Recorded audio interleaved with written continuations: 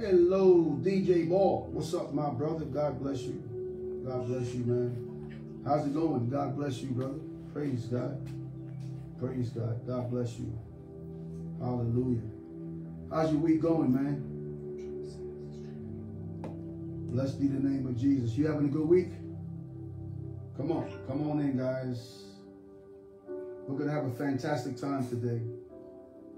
I love I love Tuesdays. Hey, Belinda, God bless you. So good to see you. What's up, Gerald? I love I love Tuesdays because that's when we get to reconnect. Praise God. Hello, Patsy. Praise God. God bless you. God bless you. Kiana, so good to see you. Come on in. What's up, Maurice? How you doing, man? I am excited, Moretta, to see you guys. Looking forward to hanging out with you guys today. And thank you guys for taking time, Lanika, to hang out with me. Praise God. I want to send love your way, every single one of you guys. I want you to know that Jesus loves you, and so do I. I want to pray the blessings of God over you and your family. Everything you do prospers. Get loose. What's up, my brother? Uh, I, I, decree and declare that God has blessed the works of your hand, Justin. Praise God. And every place your foot treads upon, that God has given to you. I speak the blessings over your life, the blessings of Abraham, Isaac, and Jacob in the name of Jesus. Praise God. We thank God that no weapon formed against you will prosper, and every tongue that rises up against you in judgment will be condemned in the name of Jesus. Praise God. If God be for you, who in the world can be against you? Praise God. You are more than a conqueror through him who loves you. Right? Not unto him who's able to do exceeding abundantly above all you think or ask, according to the power that works within you in Jesus' name. I pray the blessings over your life that makes it rich and adds no sorrows to it. Praise God. Come on, Candace. I'm telling you, the joy of the Lord is truly your strength. The fire of God is on you. Praise God. You are covered. You are in the secret place of the Most High, abiding under the shadow of the Almighty. Praise God. Praise God. If God be for you, who in the world could be against you? He loves you. He loves you. God loves you beyond measure. Beyond measure. Listen, God loves you beyond measure. Receive that. Receive that. Every gift, every calling, every desire, every need, every want is at your disposal. You have to know that being a child of God, listen to what I'm saying to you. Listen to what I'm saying to you. You don't have to work for it. You are a child of the living God okay? And being a child of the living God, every need, every want, every desire is at your disposal. I want you to hear me when I tell you this. I'm not just saying it because I want to pump you up and make you feel good. I'm telling you the absolute gospel truth, okay? If you think that you are a good parent, how much more is God a better parent? Listen to what I'm saying to you.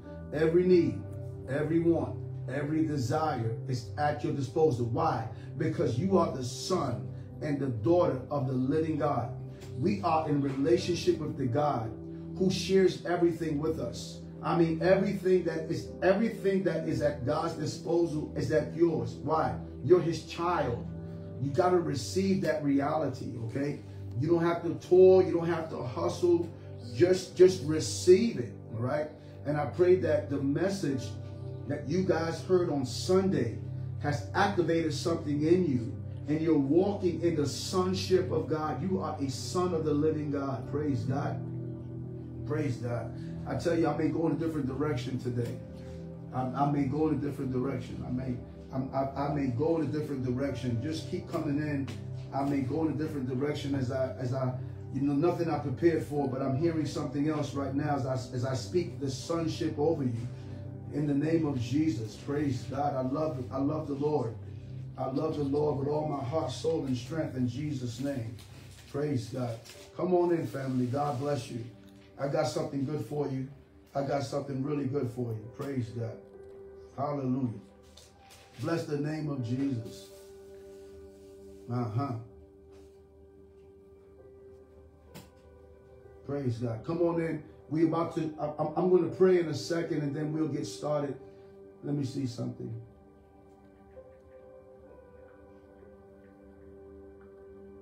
Praise God. Keep on tagging your family and friends, okay? Keep on tagging your family and friends. Tag your family, tag your friends. They want to hear this message. I got something I want to speak to you about. I want to encourage you today. I have a, I want to encourage you in the most major way, okay? Let me go into prayer and then we'll get started. Father, we bless you. We come to you in the name of Jesus. We thank you for the opportunity, Lord God, to eat from your table. We thank you that your word is true and your word would not return unto you void in the name of Jesus. We thank you, Lord God, that you are with us. You'll never leave us, nor would you forsake us. We thank you, Lord God, that in your presence there's fullness of joy. We thank you for God the Father, for God the Son, and God Holy Spirit. Holy Spirit, I yield to your wisdom and your counsel. None of me and all of you. I decrease that you may increase. Speak to my mind right now. Speak to my mind. Speak to the heart inside of me. And allow me to uh, give your children a word that will set their souls on fire. We thank you for miracles, signs, and wonders. We thank you in the name of Jesus that we are more than conquerors. We thank you that the gathering angels are here. And we thank you, Lord God, for your revelation, your revelation of truth. So I yield to your wisdom and I yield to your counsel. In Jesus' name, amen, amen, amen. I want to thank you guys for being here. I'm just getting something on the fly. That's why I'm reading, because the Spirit of God is speaking to me. Nothing that I prepared for. So I'm just going to come off the cuff here, and I'm going to read the scripture to you. And we're going to we're just going to flow with the revelation of God. Amen. Before we get started, I want to uh, make a couple of announcements here. Um, I want to announce, first and foremost, I want to tell you guys that I am sincerely grateful, grateful, grateful for all of you guys, how you guys blessed me for my birthday. It was truly, truly a blessing. I thank you guys for for just being awesome. I thank you guys for being a blessing to me, showing love, extending love. Because the same love that you gave me, I definitely have that back for you as well. So thank you guys for just being honorable because you guys made Sunday unforgettable. And so I love you guys, all, all you guys, and thank you just for being a blessing in the name of Jesus. Secondly, I want you to also remind you guys that on this Saturday, we are having a part two, right? A part two to our evangelism class, okay? And so um, if you missed part one, don't miss part two. It was it was outstanding. Bishop Young did an awesome job. We're going to start at 10 a.m. by Zoom. And the link went out today. And also an email or, or, a text message will go out on Friday as well. Okay? Praise God. Let me get started here. I'm going to, um, let me just turn this thing off here. I'm going to, you know, I had something written down, but I want to, I, I want to speak about something else here. Okay. I want I want to speak to you here um, on this scripture that I have. I just pulled it, it just came to me. I'm going to do a part two to what I did on Sunday. Sunday's message was titled Committed. And it was uh this is part two today, committed, and in parentheses is light. And I want to tell you that you are a child of light. Okay you are a child of light. And when you walk in light, you walk in a certain level of, of understanding and knowing who you are. There are two people, there are two different kind of people in the world. There are people who know who they are, and there are people who trying to figure out who they are. All right. And what I learned and what I'm learning is that, you know, before I, before I go any further, do me a, do me a favor. Press the share button right now.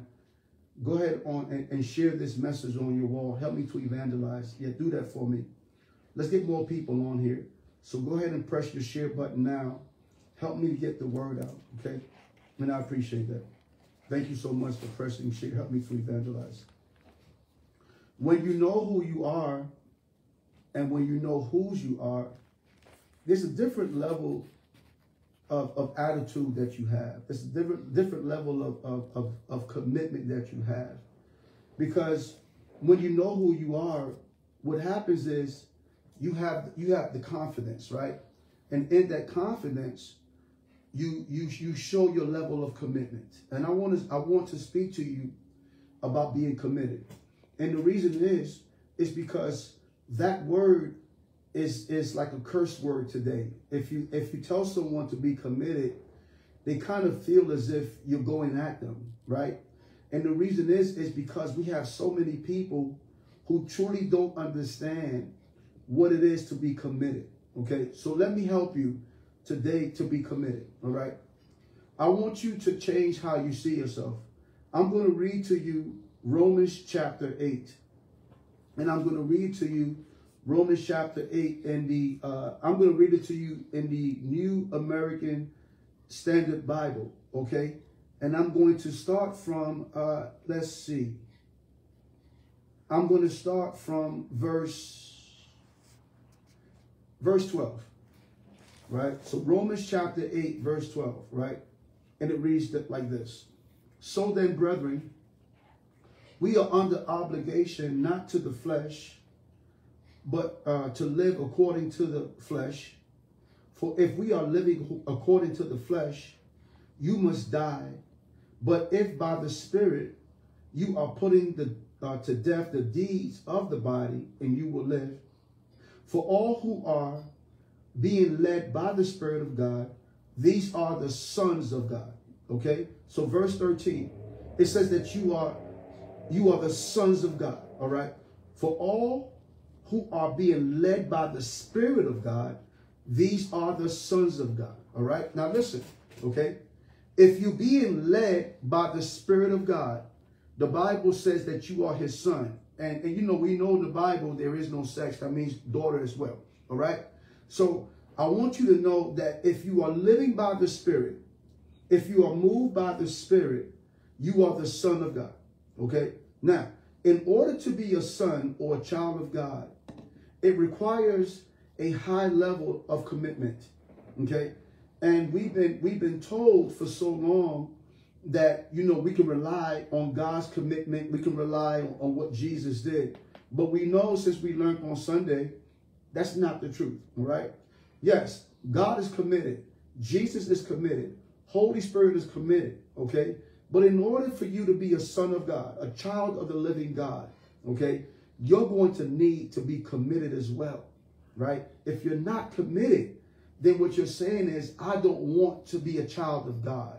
Because in order to see all that God has for you, in order to receive the inheritance, I, read more about this as I go on. In order to have everything that God has for you, family, listen to me. It requires a high level of commitment. Now, here's the thing.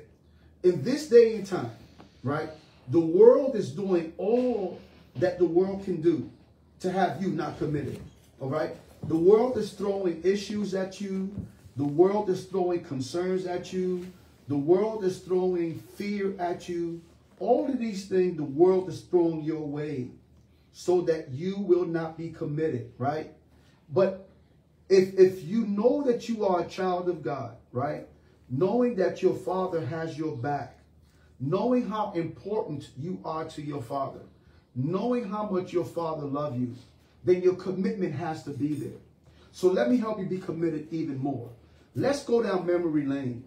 How many things have God saved you from? How many things have God protected you from? How many things you know, you know you deserve this penalty. You know you deserve this to happen. But because he loves you and because you are his child, he's committed to your success. He's committed to your safety. He's committed. He's committed to your protection. You are in relationship with the committed God. You are in relationship with the committed God. So much so that he calls you a child, right? So that must mean you are, he's your father. Then let me go further. Let me go further. Uh, Romans chapter 8, verse 15. And it says this. For you have not received a spirit of slavery leading to fear again, but you have received a spirit of adoption. You hear me? For you have received a spirit of adoption and sons by which we cry out, Abba, Father. See, you have a spirit of adoption. You was you were once an orphan, but when Jesus died, you were adopted. You were you were brought into the family. His blood, him dying on the cross, made you family. You were not family when Adam sinned. But Jesus was committed to death for one reason, so that you can stop calling him God and start calling him Father. Think about that for a second. Now, I shared this before and I'll share it again. Throughout all scripture, Jesus is saying, I am I and the Father are one. If you if you see the Father, you see me. We are the same. We're equal. That's what Jesus said over and over again. But he changed. He changed his communication on the cross when he said, My God, my God, why have you forsaken me? What happened? What happened? I, I, let me tell you what happened. When Jesus went on the cross, we trade places. We swapped. He became an orphan so that you and I can become sons and daughters. Man, so listen, prior to this, prior to Calvary, we were, we were saying God, God, God. And he was saying Father, Father, Father. At Calvary, he said God so that you and I can say Father. So we're adopted. Listen, we're adopted. Let me help you. There is, there, is, there is an inheritance that you have. You have an inheritance. When, when, when, when, when Jesus died and God adopted you, everything that's in God's disposal belongs to you. That's why I'm telling you. Every care, every want, every need, every desire, it's already there. But if you're not committed, you won't get it. See, the will that you received, that you and I received, that changed how we approach God, the will came by the commitment that Jesus had to change how we approach the Father. That's how the will came. All right. Now, how do you, there's a will, okay? Oh boy, this is so good. All right. So someone dies in your family and they, they leave a will behind. And in the will, they say, okay, I'm leaving X amount of money. I'm leaving this property. I'm leaving, I'm leaving this land. Okay. All right. So you go to the table and sit with a lawyer and the lawyer discuss with you all that your family left. You go to the table and you sit and receive the will. You receive the will. All right. In order to get the will that God has for you, you must come to the table, right? But in order to get the will, the will must be received the way the will was given. Lord have mercy. Let me let me let me slow this thing down. I'm feeling this thing. The way to get the will, whatever's in the will. Now, you have an unlimited will. Unlimited. In other words, whatever God has, we are in relationship with the Father who shares it with you equally. It's not that he's giving you part of the will. The entire will belongs to you. The entire will. All right? Now, the will came by commitment. Now, how do you cash the will? By commitment. If you're not committed, you can't cash the will because the will are for the sons of God. Lord have mercy. Good God Almighty. The will, the will that Jesus gave us only belong to sons and daughters. But you prove that you are a son or daughter by being committed. If you're not committed, then it's not that the will is not there. You're saying that I don't want to be a son. I don't want to be a daughter. Therefore, you can't get mad at someone who's cashing out on their will, but you're not. The person who cashes out on their will accepted sonship. That's it. So if you don't accept sonship, what you're saying is The will is here, but I don't want it. So you're choosing a different will. Not my will, but your will. You follow me? And so you cash out on the will by being committed. When you're committed, now you can go to the table and say, that belongs to me. And God says, yes, it is. And he'll give it to you. That belongs to me. God only gives the will to the people who are committed. Let me tell you why. It takes a certain level of maturity to receive the will. When someone dies, they may say that you can't do nothing with this property or with this land until you're 25 years old, until you're 30 years old. So the person may inherit the will at the age of 12. So they got the land, they got the money, but they can't get access to it until they're mature enough to receive it. Lord have mercy. Good God Almighty. That's good right there. See, you got the will. But if you're not mature enough, you can't cash it. Now, maturity is not a number. It's a mindset. It's not an age. You can't say, well, I'm 35 and I'm mature. You can be 35 and babyfied. You follow me? And so what God is saying is, I got the will for you. You can cash it. But the only thing that would hinder you cashing the will is your level of maturity. Now, only mature people will commit. You know why? Because there are some times that some things are going to happen that you're not going to like. I don't like this. This went this went left when I believe it should have went right. I don't believe in this. I'm not feeling this. This is not.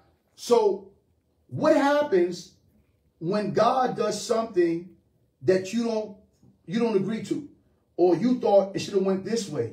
My question is this, are you still committed? When God does something contrary to your belief, contrary to your feelings, contrary to your thoughts, are you still committed? Because only then can you cash out the check. Now let me let me prove this to you. Let me go further. Verse verse 16, Romans chapter 8, verse 16. The Spirit Himself testified with our spirit that we are children of God. Right? The Spirit Himself testifies with our spirit that we are children of God. You are a child of God. Now I love this part right here. Verse 17. And if we are children, if and if children, ears also with God and fellow ears with Christ. You got it? So listen, the Bible says that you are an ear with God and a joint ear with Jesus Christ. Man, we are in relationship with the Father who makes you an ear with him and a joint ear with Christ. So that means that there's nothing that Christ has there's nothing that the Father has that you don't have. Man, we live in a world where we're trying to get this done and we're toiling for this and we're toiling for that. And the problem is that we don't see ourselves as sons. So we're acting as if we're outside of the family. We're acting as if we're not in relationship with God. And he says you're an ear with God in a joint ear, a joint ear with Jesus Christ. You are a joint ear. You are ear to the throne. I want you to write that for me in the comment section. I am ear to the throne. I want you to write that for me in the comment section. But not just write it. I want you to say it. I want you to write and say, I am heir to the throne. Come on, Maurice. You feeling me on this? I want you to write for me and say it. I am heir to the throne. I want you to say it because you're royalty. Family, your royalty. Come on. I am heir to the throne. Come on. I am H-E-I-R. H-E-I-R. I am heir to the throne. Come on. I am heir. Come on. Write it down. And say it as you write it. You got to connect with this. You are, you are, listen, listen. You are ear, ears with God. And you are joint ear with Jesus Christ. You are ears with God and you are joint it. But see, the throne the throne comes with commitment. How committed are you? How committed are you? Jesus is the example of the level of commitment that we have to have. So if Jesus shows us the level of commitment then you require that same level of commitment as well. You are heir to the throne. You listen, you're not just saying this. We, look, look, look, guys, check this out. We don't have a religion, guys. Listen, when Adam sinned, God, ever since Genesis chapter 3, the Bible is all about one thing. You ready? From Genesis chapter 3 on, he's trying to bring us back into the family fold. He does not want to be known as God to you. He wants to be known as Father. That's the reason why when they asked Jesus, they said, teach me how to pray, Matthew chapter 6. And, and Jesus says, when you pray, not if you pray, but when you pray, pray like this, our Father. He did not say our God. We don't have a God. We have a Father. We have a Father. He is Father God. He is Father. You are heirs to the throne. But if your commitment is not there, you can't sit on the throne. You can't proclaim the, you can't claim the throne. What is the level of your commitment? How committed are you to the things of God? I was talking to um Maurice and Gerald, I believe, either Maurice or Gerald the other day. I think may have been Gerald, may have been Gerald. And I said, you know, you would think that when a person does this, a person does this, and a person does this, you would think that everything, you would think that the carpet will be rolled out for them. Okay, this person is fasting, they're praying, they're tithing, they're, they're, they're, committed to their family, they're, they're, they're walking in the will of God. And you would think that that person would have the, the red carpet rolled out, right? You, you, would, you would think that, right? But that person can be doing all of that and still have experienced hell in their entire life. You would say to yourself, wait a minute, this person is fasting, they're praying, they're committed to God, committed to their family. I know this is a good person. He or she uh, walk in integrity, they love the Lord, and yet they have all of this going on in their lives. Why? Because you prove who you are by the commitment that you have. Is he still your father when things don't work out the way you think? Is he still your father when things are not happening as you desire? Are you still committed to him? Are you committed to are you committed to the bad as much as you are committed see, see that's a good question right there. My God. Are you committed to the bad as much as you are committed to the good? Are you committed to the lows as much as you are committed to the high? Are you committed to the certainty as much as you are committed to the uncertainty? How committed are you? Or are you only committed when things work out for your favor, when things work out for your benefit? I'm telling you right now, I can tell you by experience that God would always test the level of your commitment because God wants to bless you. But many of us are not walking in the blessing of God. Many of us are not receiving the blessing of God. For one reason, it's not Satan. It's because your commitment isn't there. You're fair weather. I'm going to rock with you, God. I'm rolling with you when things are good. I'm rocking with you, God. I'm rolling with you, God, when things are high. But are, how committed are you in the low? When you are on the mountain you're saying, yes, Jesus. You're saying, hallelujah. Can I get the same yes, Jesus, the same hallelujah in the valley? Mm. In Psalms 23, he says, yes. Though I walk through the valley of the shadow of death, not the mountain. He says, he says, you walk through the valley of the shadow of death, not the mountain. God will put you in a valley to see your commitment. Lord Jesus Christ, man. Many of us are being held up because we're not committed. Why? The first time it doesn't work as you think, you're on to the next. You're, you're going to try this other thing. Okay, God, I gave you five minutes to work this thing out. You didn't do it. I'm going this way instead. I'm going to do it myself. See, that's not commitment. And so now the blessing, the miracle, the breakthrough will elude you Mm. Not because God didn't want to bless you, but, but commitment shows what you're ready for. See, many of us are asking for something that if we got it right now, we're not mature enough for it because your commitment shows you're not ready for it.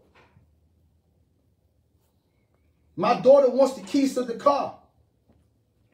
I'm going to give it to her. I love her too much. If I gave it to her now, she's not committed to the responsibility of driving that car. She's not committed to the responsibility of being careful behind the wheel. So God will put you in a place where for five years, Lord, I'm believing for this. Lord, I'm trusting for this. Lord, I'm believing for this. Lord, I'm believing for this. But if you if you're faithful over five years of commitment, God will give you birth in year six for it. See, many of you are pregnant with something, but you can't give birth to it because you're not committed to it. And if you're not committed to it, you'll have that baby and abuse it.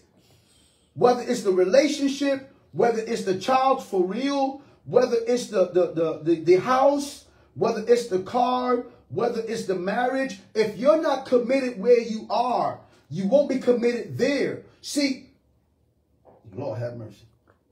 The Bible tells us in the book of James that a person who's double-minded they, they, they're unstable in all their ways. Are you so committed that when hell launches an attack on you, you would say, for God I live and for God I die? Come on, talk to me. When, when, when you are facing, when you are in the valley of the shadow of death, when hell is knocking at your door, when all hell is breaking loose, when, when the flood is coming your way, are you where, where, where are you? Are you complaining? Are you crying? Are you saying, God, why is this happening? Or are you saying, for you I live and for you I die? What is the level of your commitment? Nothing happens in this world. Even, let me say something to you. I study, I study a lot of things. I, I research a lot of things. I study and I research a lot of things. Can I tell you something? Witches and warlocks are more committed to Satan than saints are to Jesus. You, you, please hear me. I'm not just saying that. Listen, listen. Let me tell you how committed witches are. You ready? At 2 a.m., when we, the saints of God, are asleep, they're up sacrificing to Satan and sending out curses throughout the world. And we are, while we are counting sheep, they are slaughtering sheep. They're spilling blood. They're cutting the necks of animals. And they're cursing the, the, the church. They're cursing believers. And they're making sacrifices to Satan 2 a.m. in the morning while the saints of God are asleep. That's why Jesus says, watch and pray. He says, could you not stay up at least one hour? Why is the church asleep? Why is the church asleep? You know why? The church is not committed. It's not committed. You got witches who are more committed to darkness than children who are more committed to light. Reading the book, man. As I read this book, I am in awe to see the level of dedication and commitment that a witch have, a warlock have for Satan. It blows my mind. So that's the reason why we don't see what we see. Because we we are the church, the saints of God are lazy in the sense that we believe, okay, here go this five hour prayer. Have you ever prayed for two hours straight? Have you ever prayed for three hours straight? Have you ever have you ever not eaten for three days? Have you ever spent three hours reading the word of God? Or do you pray for five minutes? Lord, thank no, hold up. That's too long. I'm sorry. 45 seconds. Lord, God bless you. Thank you, Jesus. Amen. Hallelujah. Boom, go. That's not commitment. That's not, that's not commitment. When you commit yourself, you will simply say this Jesus, for you I live, and for you I die. I am dedicated to this no matter what. When, when, when the flood comes, I believe my commitment tells me that you will lift up a standard against the enemy. When, when, when trouble comes, my commitment tells me that even though I may be in a storm, a thousand will fall at my side, 10,000 at my right hand, but it won't come near me. When the trouble comes, my commitment tells me that yea, do I walk through the valley of shadow of death. I will fear no evil.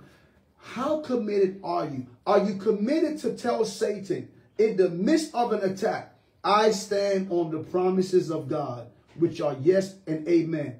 Or are you crying out saying, why is this happening? Why is Satan having this way? There's a curse on my life. They are things that God allows to happen just to build up your level of commitment. Your level of commitment. And listen, this is for me as well because, you know, there's some things that I'm trusting God for, right? There's some things that I'm believing God for. And I have to be honest you, with you. I'm like, Lord, you you you you partner with me. We do this, we do this, we do this. I'm walking with you, and yet I'm still dealing with certain things, right? And it's because I understand that commitment breeds, number one, write this down. Commitment breeds maturity. Write this down. Write this down. Number one. Commitment breeds maturity. Number one. Commitment breeds maturity. Meaning this. The thing that you cried about three years ago, you don't cry about any longer. It doesn't move you. You're not shaken by it. You're like, oh, well, whatever. Right? Number one, commitment breeds maturity. Okay? So many of us are in a baby-fied state. No shade, no disrespect, but mature-wise. I'm just being honest with you, okay? I was once in that place myself, all right? So I'm just being honest, all right?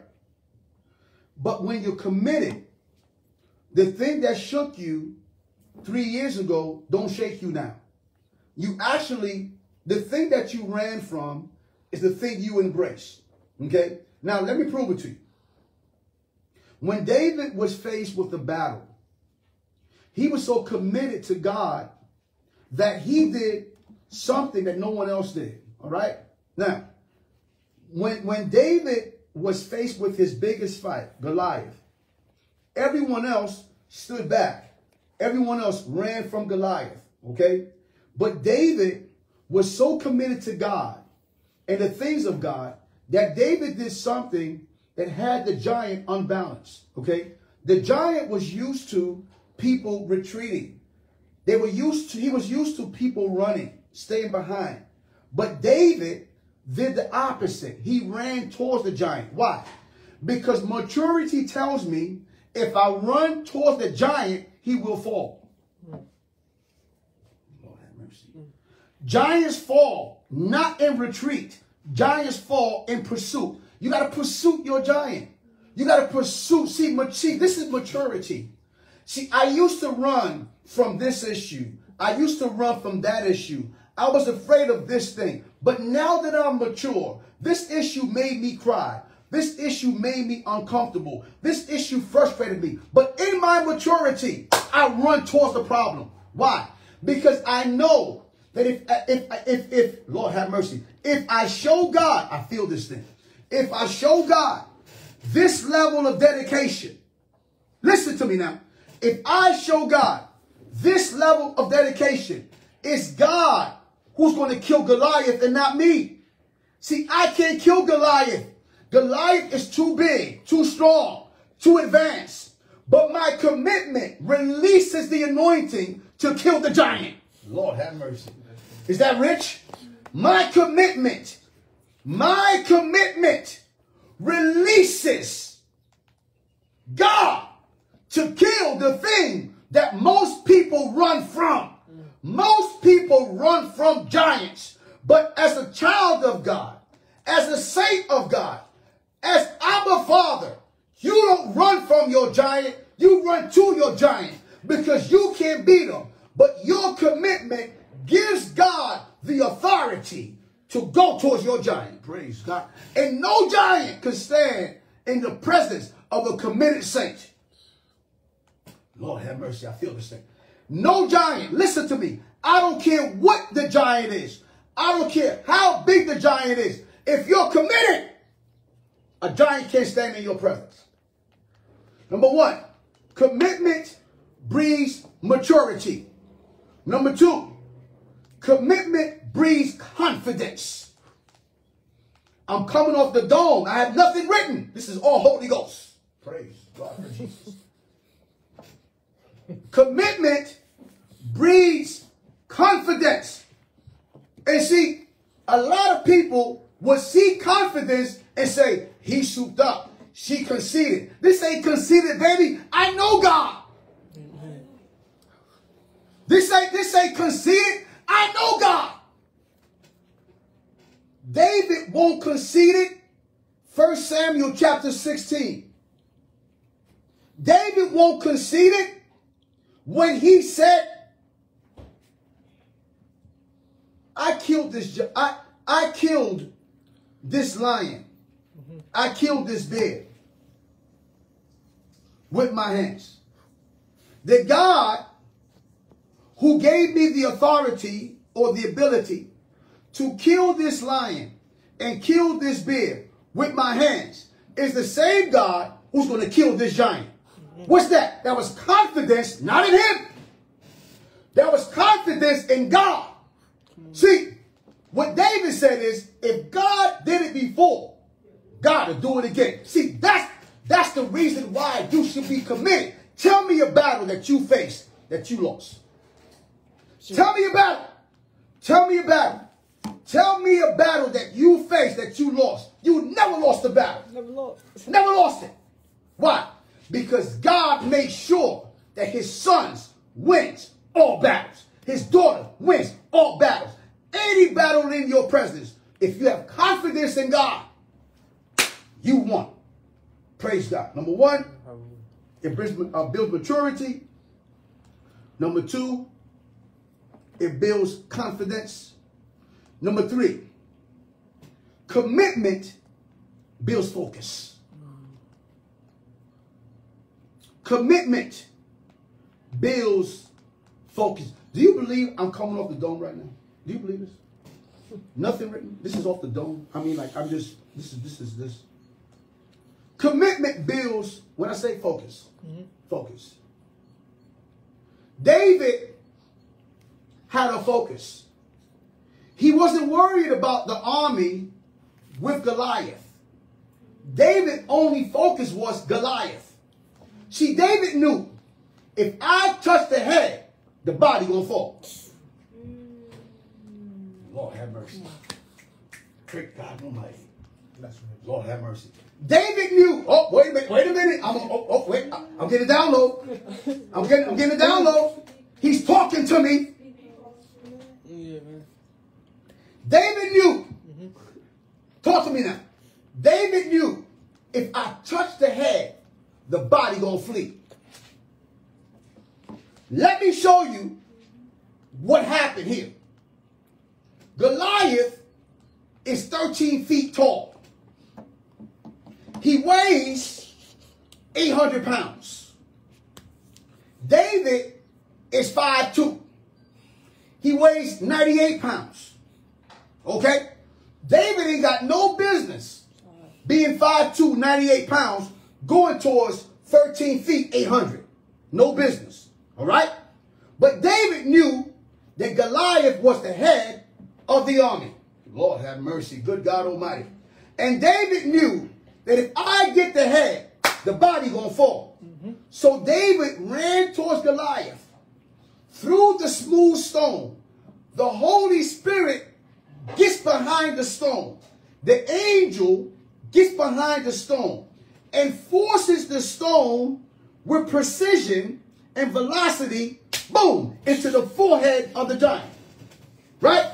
And the Bible says that the stone boom, sunk into the head. Come on now, I'm being dramatic. I want you to feel this thing. The Bible says that the stone, boom, went into the head of the giant. Okay? All right. See, I love y'all so much, I don't mind, boom, banging myself in the head. Praise God. That's love. If y'all don't say I love you, boy, y'all some bad people, because I'm over here bang, I'm, I'm over, look at this, banging my head. Praise God. All right. So now, the stone went into the head of the giant, right? The giant fell. Now listen to this. Listen to this. Listen to this. Let me show you what happened. When, when, when the stone hit Goliath and it pierced his forehead, right? And he fell. Tell me this. If a giant is 13 feet, right? And he weighs 800 pounds, how big and how heavy is his sword? Talk to me, the sword, for the sake of arguing, let's say the sword weighed 150 pounds. That sword weighed more than David. Mm-hmm. Am I talking right? You're talking right. Talking right. The sword weighed more than David. The Bible says that David picked up the sword and cut off the giant head. Where did the strength come from for a 5'2", 85 pound young man to pick up a 150 pound sword? It came from the commitment that he had to God. When he was committed and had the focus, he was strengthened, Lord God, to chop off the giant's head.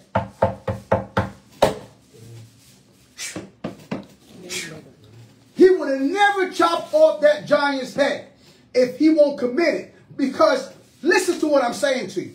When you're committed to God, I hear this thing right here. Mm -hmm. When you're committed to God, he would take the enemy's weapon and give it to you so that you can cut off your enemy's head. Mm.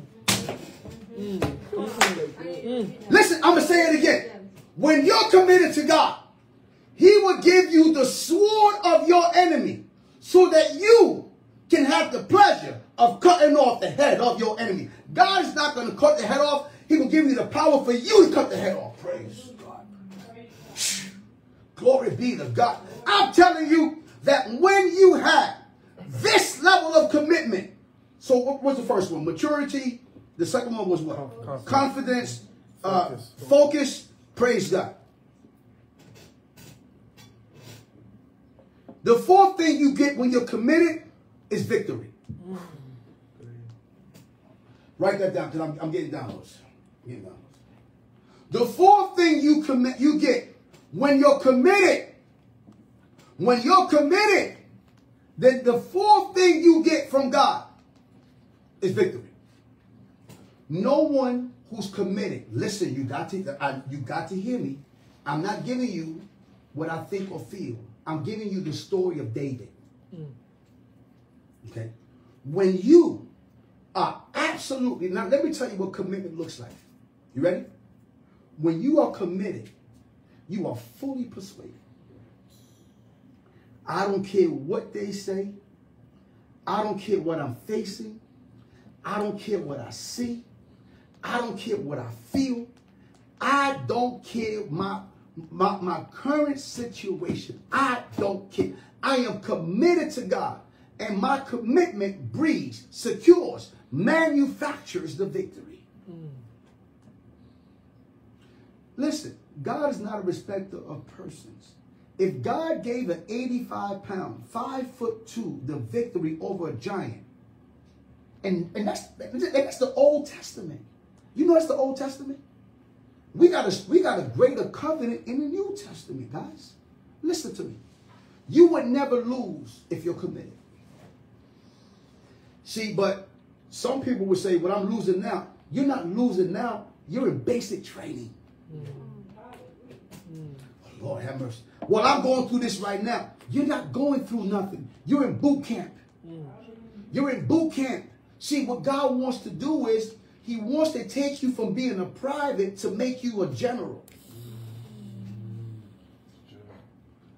What God want to do is, Christina, he Haji, he want to take you through the ranks. You know, you start as a private and you got to go through the ranks. But see, many of us want to operate as if we're generals. You ain't been through nothing. You see what I'm saying? When you listen, when you when, when Lord have mercy, good God Almighty, talk to me, Holy Ghost. When when you oh, oh. experience when you when you experience when you experience the Lord have mercy, man, oh man, the battle that you face as a private, mm-hmm. when you pass that, it prepares you to eventually be a sergeant. The battle that you face as a sergeant prepares you to be an officer or lieutenant. See, the greater the battle, the higher the rank. If, if you are a saint of God, and if you don't think you're going to have a battle, that's not, that's not how it works. See, God don't want to keep you as a private. God wants to eventually make you a general. But you got to be committed to go through the ranks. Lord have mercy. I can prove it to you. In the book of Acts, in the book of Acts, you have these brothers. I believe it's Acts 19, if I'm not mistaken. The, the, the, the, sons of Sceva. They go and they face these demonic, this demonic, this, this man who's demonized. And they try to do something that they want rank for. And so when the demon saw them, the demon said, wait a minute, wait a minute. The demon said, I know Jesus. I know Paul. But who in the world are you? What the demon was saying is, I recognize rankings. Jesus has ranked over me. Paul has ranked over me. But you, you're underranked. You're out of your league. You don't belong here. So what happened was the demon beat the seven brothers to the point where they were naked and they ran out naked. I know Jesus. I know Paul. But who in the world are you? They weren't ranked. Why? Because they did not pass the test when they were privates. So they want to jump jump into generalship. Lord, is that, is that a word, generalship? I'm just it up. You can't jump into generalship. Is that, is that a word? Probably is. I don't know. You can't jump into generalship. I made it up. It's a new word, whatever. You can't be a general if you never went through the ranks. You, you ain't got no business, no business stepping to somebody who's higher ranked than you. Well, I just made it up, uh, Donna. Just roll with me, please. Lean with me, rock with me. I made the word up. General, general ship. Write it down. Write it down. How do you spell general ship? General and put ship at the end of it. Is, is it a word? It's a word? It's a word, Donnie. Yes, it is. It's a word. Thank you, five for that. The word generalship is a word. Praise God. generalship is a word. what, what did we see? What, what did it mean? Generalship, the skill or practice of exercising military command. Generalship is the word. See, that's Holy Ghost. Praise God. Thank you. I need you around more often because I'll be making up stuff. Generalship is a word. Praise God. So so so when they stepped to the set to to uh to this demon, the demon said, wait, wait, wait, wait, wait, wait a minute. I submit to Jesus. I submit to Paul. I'm not gonna submit to you. And and and the demon beat he beat the brakes off of them dudes, man. He beat them dudes ran out of there all bloody, cut up, and all naked. Why? Because they were outranked. You follow what I'm saying? They were outranked. They weren't in their rankings, man. So you got to go through it. But when you go through each step, based on your commitment, you got the victory. All right. And what's the last one? I, I had it. Hold up. Bring it back to me, Holy Spirit. So I gave four points, right? Yeah. Mm -hmm. Maturity, confidence. Maturity, confidence. Focus, victory. Focus, victory. Hold up. I, I had the last point. Bring it back to me, Holy Ghost. Focus, Hold on, what's, tell me again what it was. It was maturity, maturity, confidence, confidence, focus, focus, and victory. And victory. Faith. Okay. The last point. Oh, thank you.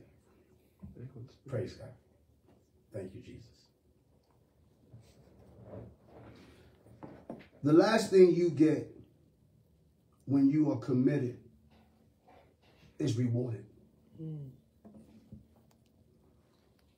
Commitment breeds reward. When you look at the story of David, David told, David came and he asked twice. He said, What does the person get who defeats this giant? Twice, twice. David asked the question. He says, What does the person get who defeats this giant? They said, You you you you'll marry the king's daughter and you won't pay taxes. There, there was a financial, Lord have mercy. Oh boy, I, I hear this thing. There is a financial reward for people who are committed. Because David was committed, one of the things he gained was, was marriage, which means multiplication, but he also gained a financial reward. They said the person who defeats this giant won't pay taxes. Whenever you're committed, God would never take your commitment and not bless you for it. Let, let me explain. Let me explain. I, I, want you I want you to receive this right here. Nothing you do for God. Now you gotta you gotta hear me on this. Nothing you do for God, nothing you do God conscious, nothing you do with God in mind would ever go unnoticed or unrewarded. Please hear me. If you ever do anything for God with God in mind, you would you would never go unnoticed or unrewarded. God eyes, the eyes of the angels are on, listen to me now. Anyone who is committed to God has the attention of heaven. You go to the bank, you go to the credit union, you go to Wells Fargo, you go to Bank of America, and you go to the ATM or you go to the, the counter and you pull out. You, you make you make deposits, but you also make withdrawals. Heaven. Give me, give me, give me, give me, give me a few more minutes. Can, can I can I get a few more minutes? Because I'm, I'm getting downloads. Can I, get, can I get a few more minutes from you? I know I know you're right here at 8 o'clock. Can I get a few more minutes from you? Because I, I, I got to release this thing. Heaven is your bank. Your bank is not Bank of America. Your bank is not Wells Fargo. Your bank is not Navy Federal. Your bank is not Credit Union. Your bank is not Bank of America. It is not. It is not. Nothing they have will fulfill what God has for you. Nothing. Listen to me. Heaven is your bank. It's your spiritual bank. And when you deposit in your spiritual bank, your commitment guarantees any withdrawal that you want, need, or desire. Do you hear me? Listen to what I'm saying to you. What Bank of America is limited to, what Wells Fargo, credit unions, whatever the bank is, whatever these banks have, there is a limitation to what you can withdraw. Mm. Talk to me. Mm. You can only withdraw a certain amount of money a day from the ATM. You can have all the money in the bank you want, but the ATM limits what you can draw in a day. Talk to me up in here. But we got a bank. It's called the Kingdom of God. That you can go to that bank any day of the week, 24 7, 366. I'm including leap year. Praise God. And there is no limitations to what you can draw from that bank if you're committed. You can draw from that bank at 2 p.m. You can draw from their bank at 2 a.m. You can draw from that bank 12 noon. You can draw from that bank at 12 midnight. The bank never closed. You can withdraw from that bank if you're committed. And when you're committed, the reward is great.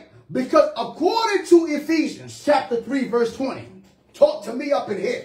Now unto him who is able to do exceeding abundantly above all you think or act according to the power that works within you. I'm telling you, this is my phone. I'm telling you in the name of Jesus that you can withdraw from anything or anyone at any given time. All you got to do is stay committed. If you stay committed, listen, Lord have mercy. He'll give you a blessing based on Psalms 23. He tells you what it is. He says, Your cup run over. David got more than he bargained for. The man came to deliver bread, and he ended up with the bread. Lord have mercy. Mm. Am I talking right? Mm. Listen, David came to deliver bread, and when he won the battle, he got the bread. I mean the money, the lucci, the chicken. He got the money, man. The people who people who are committed get the bread. See, you got the butter. You need the bread.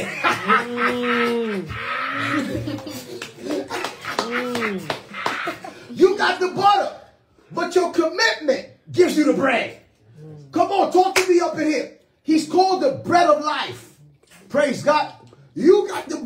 The. See, see, see, see, see, Candace, chicken is a terminology that the young kids use for money. They, they said chicken, that means money. So I, I got my slang up, praise God. You know, I'm, I'm, still, I got my slang still rolling, okay? The chicken means the money, praise God. See, see, you got the, you got the butter, but what you need is the bread. But Jesus says, I am the bread. Mm. Mm. Mm. So, so, so you get the bread when you're committed. You see, your commitment looses the bread. It, it, releases the bread. Praise God. So I gave you five points. Maturity, uh, confidence, confidence focus, focus, victory, victory and, reward and reward. Praise God. I'm done.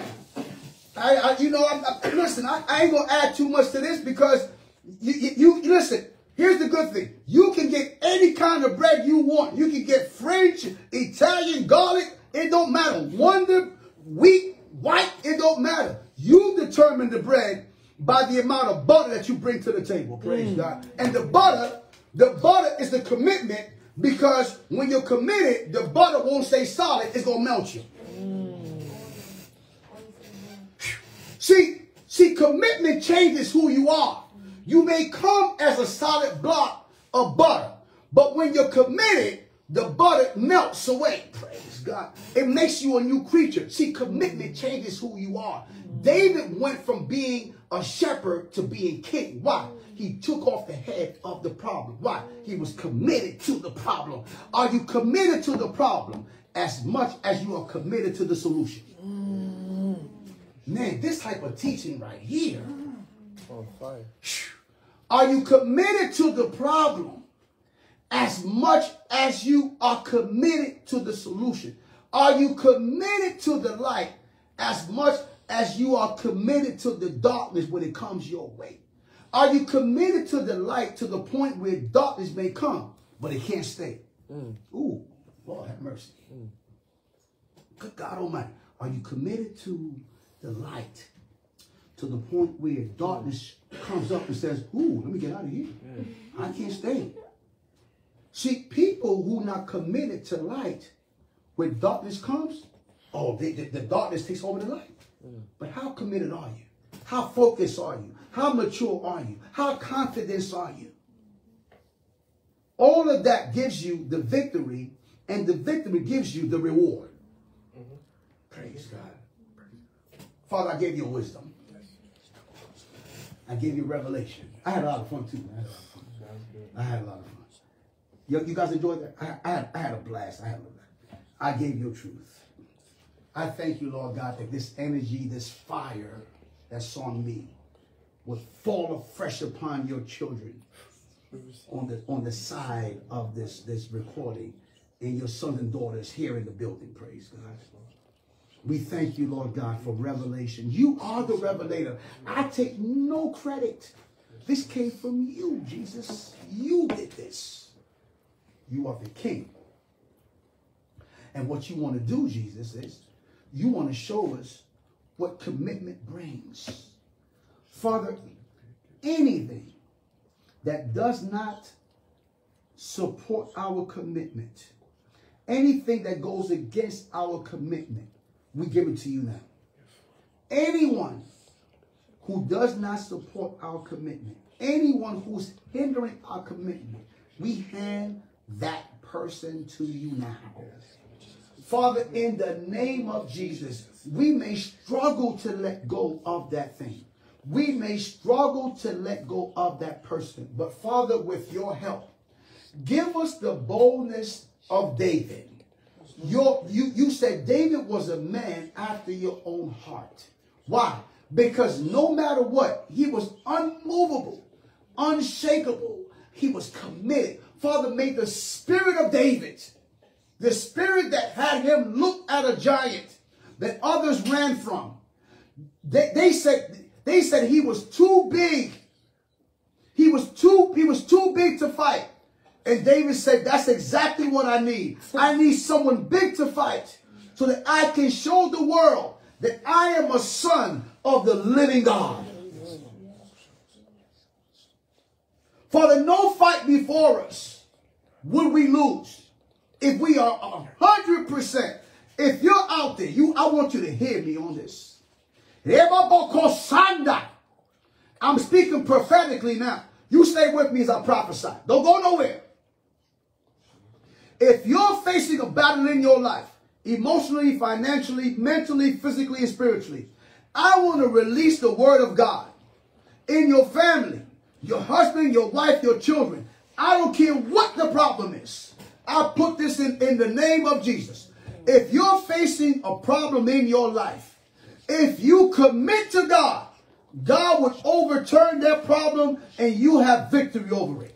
If I be a prophet of God, if I be a mouthpiece of the Lord Jesus Christ, if I be a vessel of Yeshua, I'm telling you what I know to be true. I am a living witness. I was facing 40 years in jail.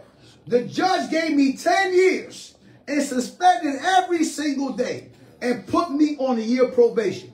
I was facing deportation. I'm telling you, I knew people who got taken out of this country for speeding. I got caught up in some drug business and the judge gave me a stay here.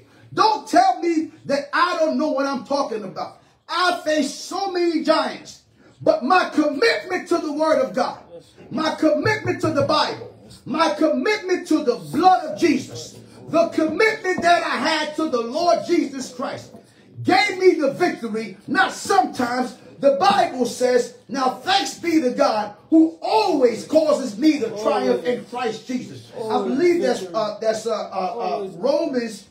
Find that for me. Is it Romans chapter 2? Find it for me. Now thanks be to God who always causes me to triumph Find, find that for me. Google it. It's Romans. Is it Romans? No. Thanks be to God. But that's Romans. Find it for me. Because I, I want to read that to you. I'm, I'm, in the vein. I'm in the vein. Just y'all just stay with me. I'm, I'm prophesying. Now, thanks be to God who always causes me to triumph. What what is that? But no, but you got to find it on your phone because I don't, I don't remember the scripture. I'm I'm I'm, I'm more, you know. Second Corinthians two fourteen. Second Corinthians two fourteen. That's what it was. That's it. Yeah, yeah, yeah. That's it. Thank you. Second Corinthians chapter two verse fourteen. Thank you. I need you were around often. It says, Now thanks be unto God, which always causes us to triumph in Christ. Listen to me now.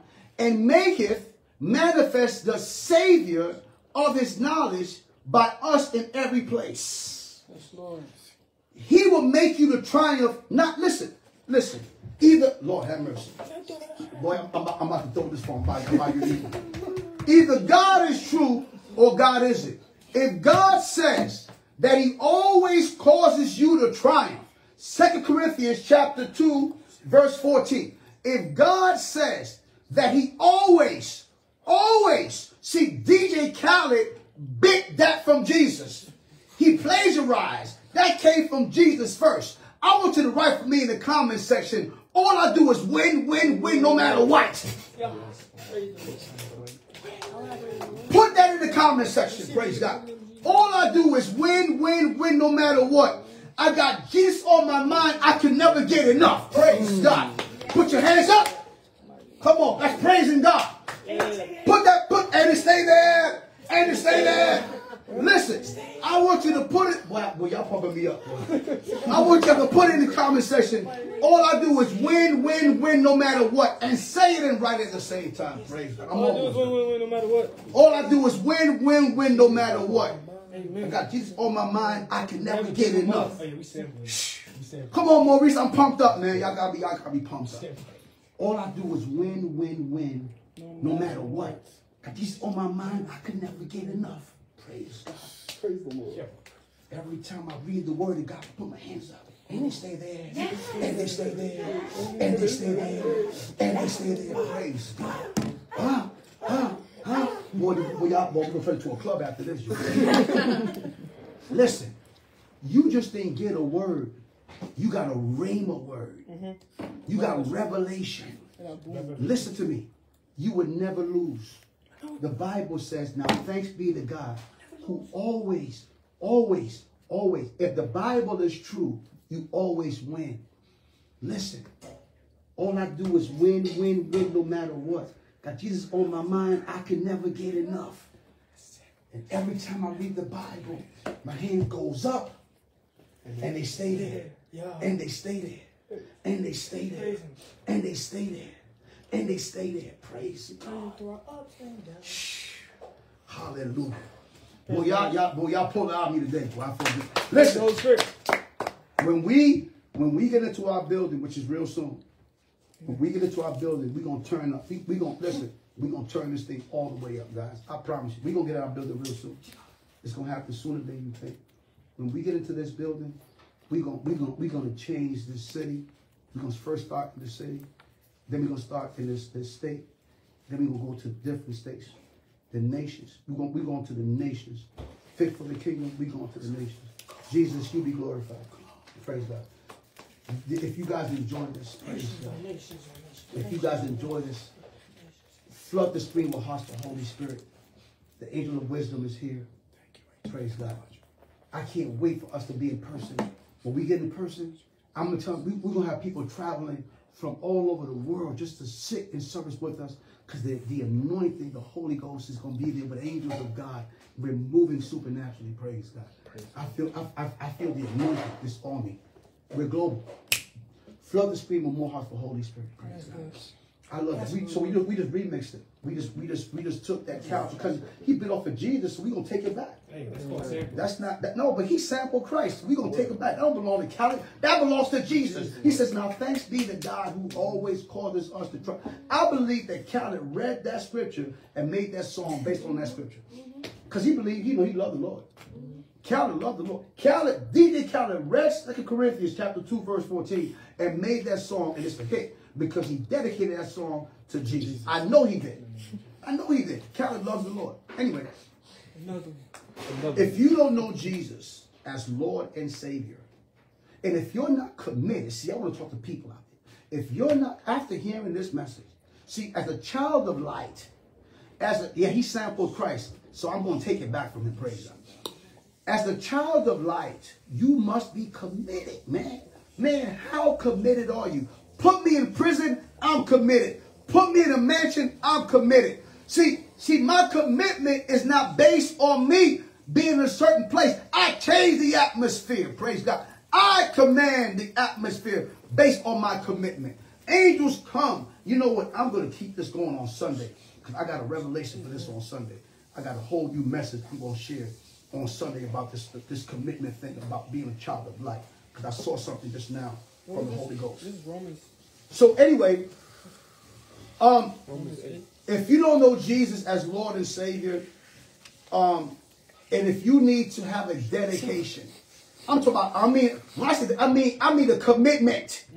I don't mean that wishy-washy stuff. I mean, I'm committed. For you, I live, and for you, I die. If that's you, even if your family members and friends, let's pray. Father, we commit to you to the point of death. We know in our dying you live. We know, Father God, to gain the world is nothing if we lose our soul. But Father, for you we live and for you we die. We know that Jesus is our sample, our example. He is the sample son. He died on the third day. He died, rather, and rose on the third day. We also know that not only is he your son, but he's also you, God in the flesh. Jesus, we want to commit to you. We want you to help us to be more committed, more dedicated, unwavering in who you are and what you do. We stand on your word. We stand on, and we thank you for the revelation of David. Praise God. And we thank you, Father God, that us, our family members, and our friends walk in the level of conviction that would have us not be wavering in our faith. For you are not a man that you would lie. You stand on the truth. Praise God. We bless you. We love you in Jesus' name. Amen.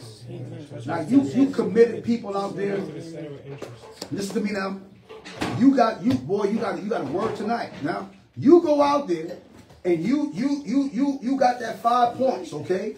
And you gonna walk in that thing, okay? And I want to prophesy that that that the next 90 days mm-hmm. you're going to see the five things that that that you get for being committed you're going to get that. You're going to get the victory and the reward. You're going to have the confidence and the focus and the maturity. Lord have mercy. Everything that you that i spoke tonight it's a seed in your soul and the holy ghost is going to give you a summer a summer of absolute victory. I'm talking about you going you going to be you going you going to receive so much this year because of your commitment. You give God commitment and you can withdraw 90 days of miracles. I I decree it. I Loboko Shinda. I release the word. I'm telling you as I hear this thing, I'm releasing 90 days of miracles because of your commitment. I feel it. Glory to God. Raise your hands for the blessing. And Saturday, I mean Saturday, Sunday, you better come ready. 'Cause I, I'm ready for you. Shoot, I'm going to the theater right now. I'm going. I'm, I'm going to be sitting in the car, sitting, being in the car, waiting for you to come on Sunday. I'm I'm so committed to you that I'm going to the theater when I leave. I'm going to the theater right now. Praise God. Raise your hand for the blessing. May the Lord bless and keep you. May the Lord make His face to shine upon you and be gracious to you. May the Lord turn His face towards you, and may the Lord grant you His shalom. That's His peace. Now, may the peace of God that transcends all understanding. Guard your hearts and mind in Christ Jesus. Katrina and I love you all, the love of Christ. Thank you guys for being here today. My energy level is amazing. I had a good time. We laughed. We did everything. God was glorified today. But seriously, listen to me. Listen to me. Listen to me. He always causes you to triumph because you are more than the conqueror in Christ Jesus. Have an amazing rest of your week. And we're going to see you on Monday. I'm uh, see you Monday. I'm, I'm, I'm just off the chain right now. On Sunday, we're going to see you on Sunday for an off the hook service. Bring your family and friends. It's going to be blazing up in there on Sunday. God bless you. Enjoy the rest of your week.